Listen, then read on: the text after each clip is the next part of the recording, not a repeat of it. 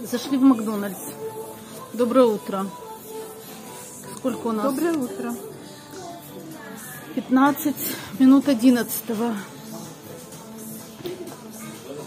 Пьем кофе, взяли десерт. Чек страшно показывать, потом покажу цены. Я прилично выгляжу. Можешь меня фотографировать. Я рассматриваю, какие мне экскурсии поблизости посмотреть, а Максик э, в Макдональдс пойти.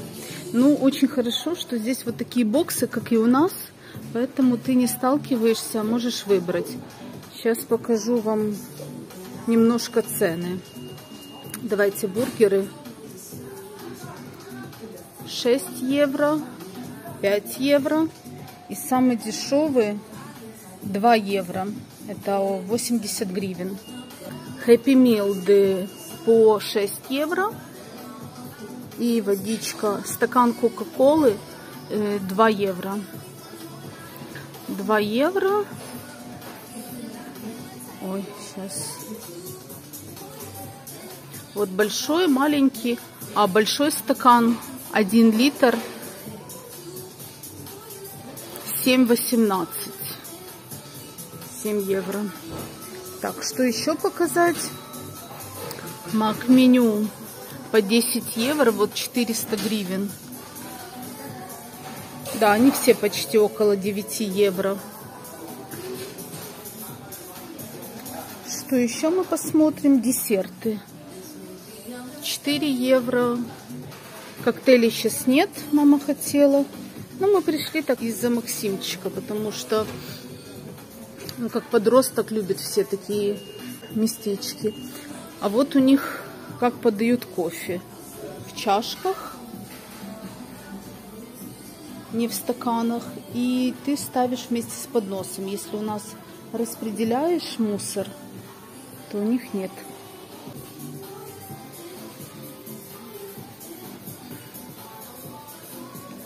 Вот такой Макдональдс в Германии. И есть уборные комнаты. Можно рассчитаться как картой, так и наличными деньгами. Вот такие мусор. Здесь своя система. Да, не так, как у нас.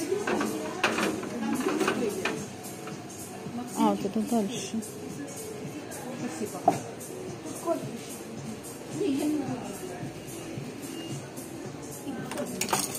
Ничего страшного. Поднимем и все. Бывает. Ложечки какие? Деревянные?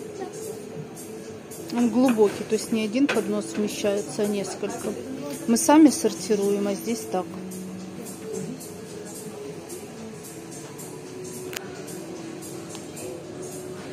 Еще у них стеклянные стаканы подают. У нас вообще такого нет. А трубочки бумажные. Наше кофе берем и в путь. Уже пока будем продвигаться к дому, какие-то интересные такие дома буду вам показывать. Смотрите, как пострижены деревья.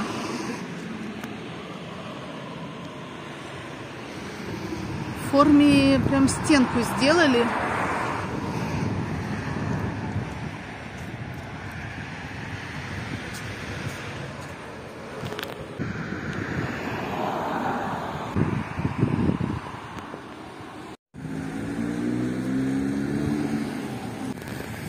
Это мы сейчас тоже были на окраине города, когда тут шли, прошли маяк. Сейчас его снимаю с другой стороны. Максик мне еще говорит, а чего ты маяк не сфотографировала? Автобусная остановка. Я почему так именно концентрирую внимание автобусная остановка, потому что для нас важно средство передвижения. Каждый старается украсить свой дом по возможности, если нет больших лужаек. А вот смотрите, если человек с ограниченными физическими возможностями, вот сделано такое приспособление.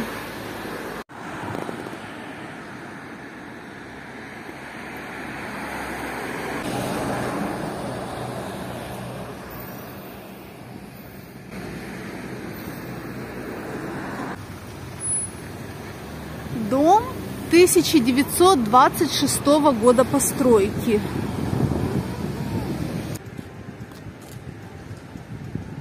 Довольно часто можно встретить э, на велосипедах с детьми мам.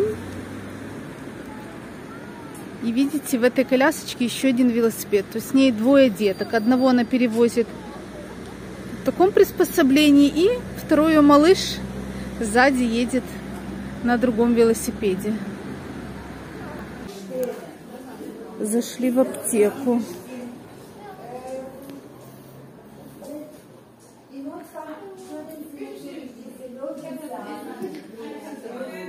Постоянные дожди и крем для солнца с 50 плюс защитой. У нас это тоже косметика продается. Ля.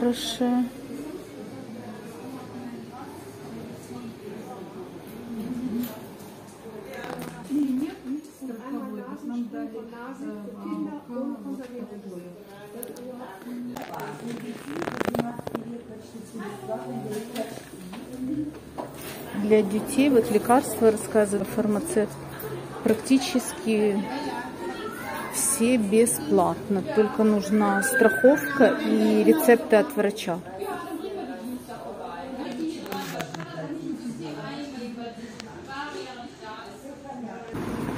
Мы еще когда говорим русскоязычный или русский магазин, сейчас вот эти обостренные такие отношения, но вот сейчас фармацевт, э, мама покупает валерьянку, она говорит, вам для чего, заснуть или для успокоения?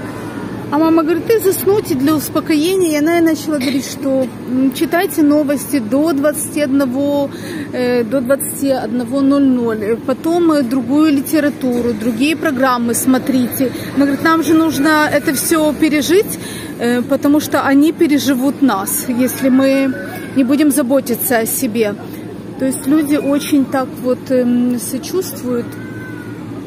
И, как сказать, э, эмпатия большая. Но вот в данном случае мы столкнулись именно с таким проявлением. Жена, конечно, такие слова говорит. Она говорит, если мы не будем заботиться о себе, то некому будет праздновать победу. Все люди на самом деле очень переживают, и это всех затронуло. Вообще прям, прямо до слез. Я всегда к ней хожу, mm. если мне что-то надо. Мама рассказывает что это женщина-фармацевт с Украины. Она здесь уже около двух лет. Сын сейчас эм, в Украине. И каждый день они созваниваются. И, конечно, она, безусловно, переживает.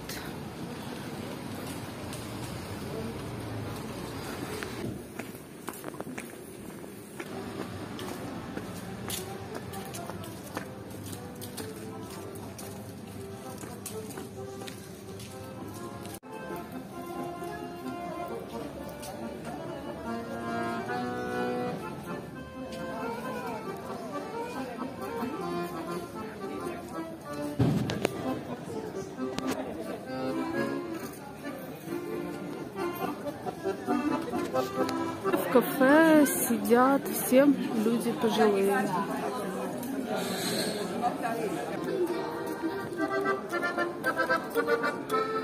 Едут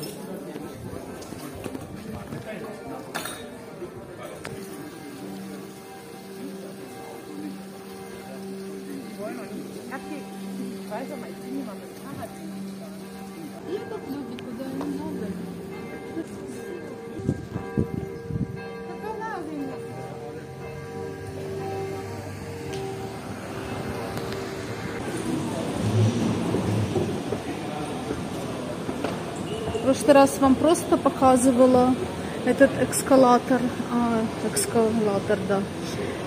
Есть такие похожие экскалова, да, экскаватор, экскалатор. Сейчас на нем едем. Сейчас пойдем Максику мяч баскетбольный купим. Мы уезжали, он занимался баскетболом уже несколько месяцев. Конечно, скучает. Уже знаем даже, где кольцо. Сейчас пойдем посмотрим. Зашли в вещевой магазин. Здесь вот футболки 18 евро. Такое качество Том Тейлор. 20 евро.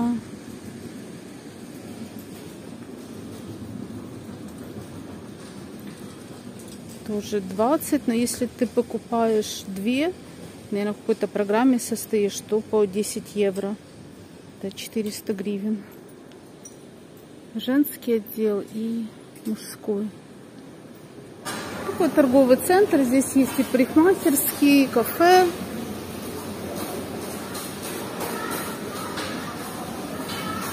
В магазин обуви зайдем. 39 это что, евро или размеры?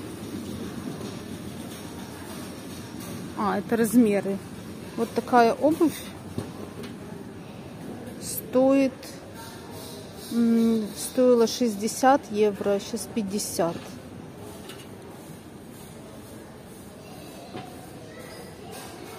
Сейчас пойдем мужские посмотрим.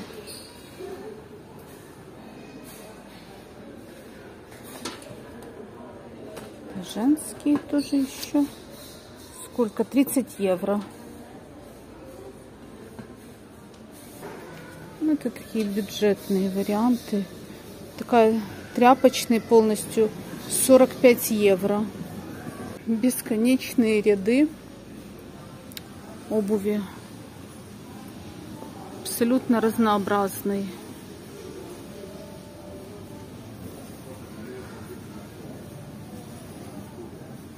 41 размер 54 евро да мы тогда на барахолке за 60 евро это хорошая цена была.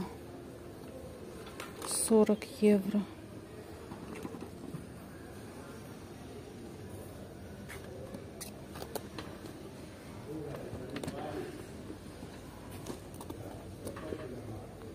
Сколько? 70 евро.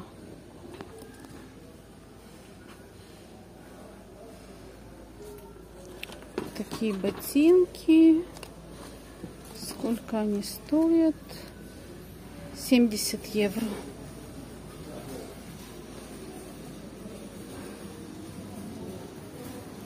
Выбираем Максиму воду. Это у нас такая не продается. Продукция Кока-Колы, но чуть-чуть другая. Так, а мы уже купили мяч баскетбольный, ракетки для тенниса и дартс. Просто я хочу, чтобы он еще так активно не только в телефоне зависал, но и чем-то занимался. Тем более там с нами еще мальчишки живут.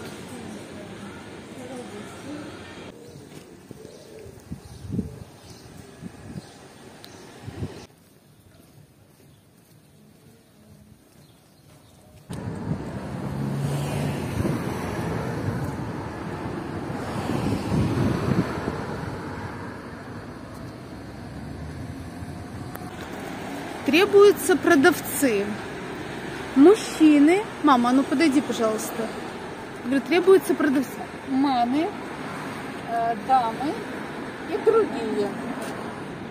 То есть у них пол различается. Мужской, женский и другой. То есть, да.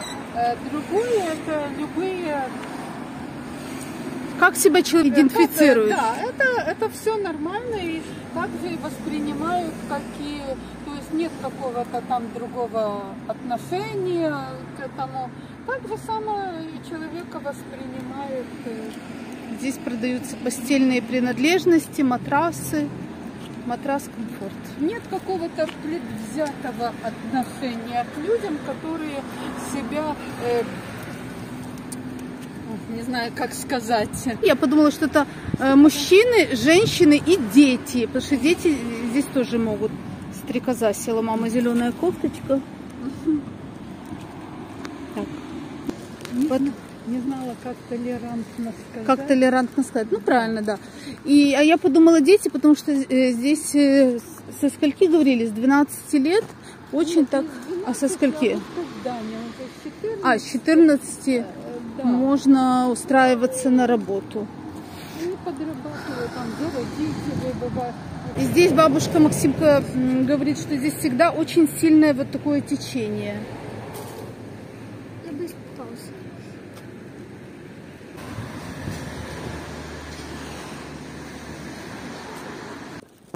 Так, мы здесь уже сколько, мам, мы считали вчера? Дней 10, да? Ну да, уже. Да, и уже Во- скучаем, вторник неделя была. и уже скучаем за домом. И вот сейчас, когда возвращаемся именно в наш фирт, аж как-то полегче.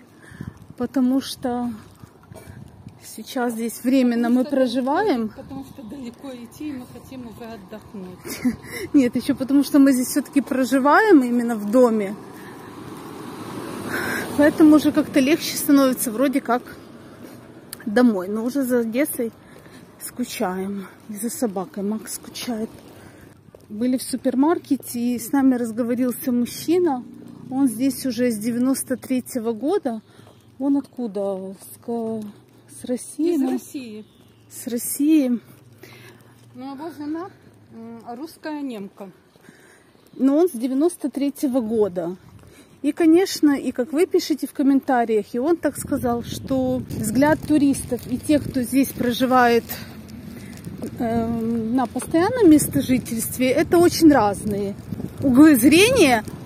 Потому что вот он где? Он говорит, месяц был в Италии, да? В Испании. А, в Испании. Путешествовал и тоже говорит, вот у них лучше, чем у нас. Там бензин дешевле, и, как ни странно, он сказал такую фразу, что и там намного чище. Как мы поняли, он живет в городе, и он видит очень много, ну, немного, а достаточно таких недостатков в плане того, что не убирают, или он сказал, что нет вот мусорных эм, корзин, когда идешь по улице. Ну, приехал бы он к нам в Одессу и посмотрел, что у нас творится после того, как отъезжает э, мусоровозка Да, поэтому, ну, мы ему так и сказали, что все в сравнении. Все в сравнении, конечно. Сейчас ему 65 лет, он сказал, что он вышел уже на пенсию. Ну, так довольно, знаете, если с 93 -го года, это он здесь уже прожил 30 лет. И, конечно, у него уже такое довольно устоявшееся мнение. И он прошел этот путь, приехал из-за жены. И очень интересную историю рассказал, такую забавную, про как он устраивался на работу. Он абсолютно не знал язык, и везде ходила с ним жена. И вот он, говорит, пришел к работодателю, они поговорили, ну, он говорит, говорила в основном жена. И выходит, он ее спрашивает, ну что, Она- как она сказала? Но она сказала, завтра выходи уже на работу. Он говорит, есть с тобой? Она говорит, нет, один. Поэтому он пришел, говорит, там были только немцы и голландцы, да, он сказал? Ну, он был э, рабочим, потом стал старшим рабочим. Он говорит, руки есть, а так уже пытались объясниться жестами. Со временем, конечно, все наладилось. В общем, поэтому, как мы, когда мы выражаем свое мнение, это не категоричное какое-то, даже в этом в комментариях люди, Галя. Конечно, да. Даже вот мы приехали там несколько дней, недель, месяцев мы здесь находимся. То есть мы рассказываем то, что как мы видим. А у вас, может быть, нам уже пишут комментарии те люди, которые здесь и довольно долго. Вот девушка там, которая здесь 20 лет, у нее чуть отличное мнение от, от нашего. Поэтому у нас еще есть такая, такое выражение. Наше мнение это не как это Это не мнение большинства. не, в последней инстанции или как э, ваше мнение это Ваше мнение? ваше мнение это ваше мнение, да. А, вот, все, вспомнила. Есть Истина есть в последней... мнения. Нет, есть два мнения, мое и неправильное. Да, но это не про нас. Это не про наш случай. Вот, я вспомнила. Э, истина в последней инстанции. Ваше мнение не есть истина в последней инстанции. Это когда ты ходишь из кабинета в кабинет, и в, пос... в последнем кабинете самое, вот как решат, так и будет. В общем, кто знает, тот поймет. Все, мы вам будем говорить на этом до свидания. Ждем ваши комментарии. До следующих видеопрогулок.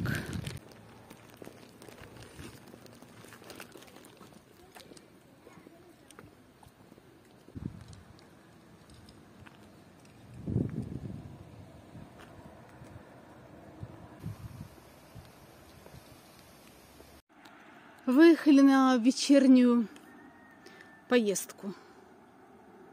Катаемся. Раз стараемся выбирать новые маршруты. В этот раз доехали до ветряков. И они почти не крутятся. Сегодня было жарко. Проехали еще такое придорожное кафе. И несколько фур стоят. Ну и люди сидят. А вокруг поля.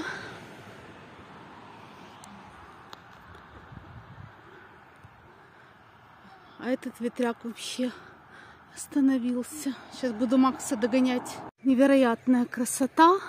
Там еще самолет летит. Вот.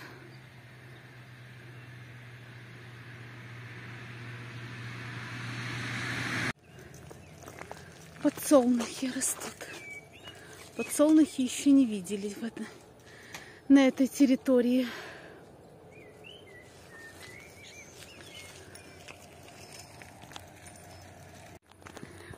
Невероятная красота и высота. Видите, здесь дверь. И там видно лестница какая-то, чтобы можно было подняться. Подходишь, гудит. На ветряках есть граффити. Такой еще зеленый цвет покрашен. Вокруг поля.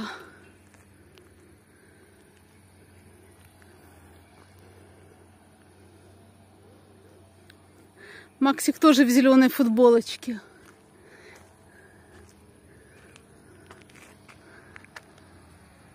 Очень интересное ощущение, когда что-то видишь впервые так близко.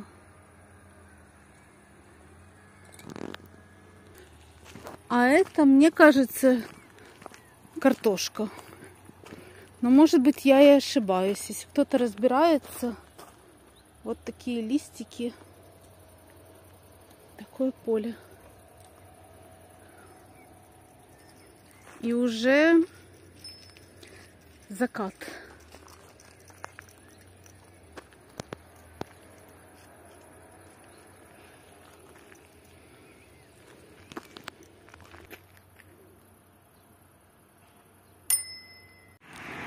Коровки пасутся на закате. А деревья такими ограждениями обнесли. Хорошо, что еще сегодня нет дождя. Мы раз в дождь катались. Но зато было очень красиво. Все равно паслись коровы и лошади. Они были такие блестящие, мокрые. Даже такой маленький клочок земли они стараются облагородить.